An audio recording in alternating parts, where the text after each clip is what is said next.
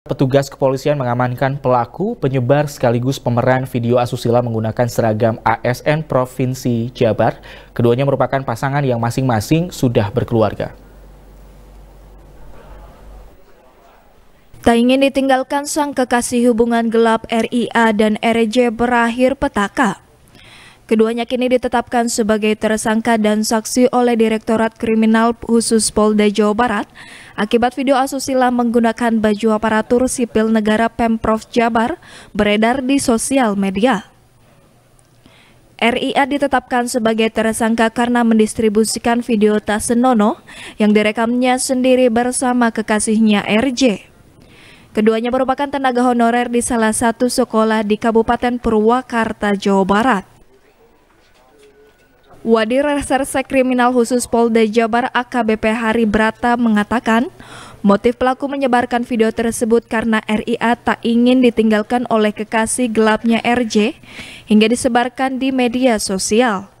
Tersangka RIA maupun RJ keduanya telah memiliki keluarga.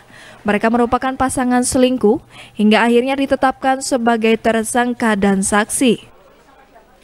Telah melanggar pasal 45 ayat 1 junto pasal 27 ayat 1 Undang-Undang Nomor 19 tahun 2016 tentang perubahan terhadap Undang-Undang Nomor 11 tahun 2008 tentang internet dan transaksi elektronik atau ITE dan pasal 14 ayat 1 dan pasal 15 Undang-Undang Nomor 1 tahun 46 tentang peraturan hukum pidana.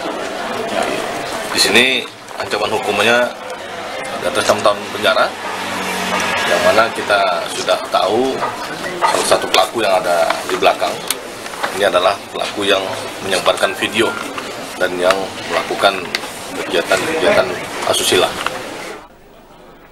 Dari tangan pelaku polisi mengamankan barang bukti satu setel pakaian seragam ASN, pakaian dalam, satu unit kendaraan roda 4 dan dua buah HP.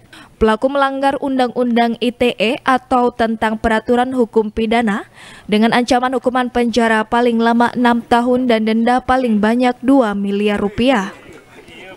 Yuwana Kurniawan, Bandung TV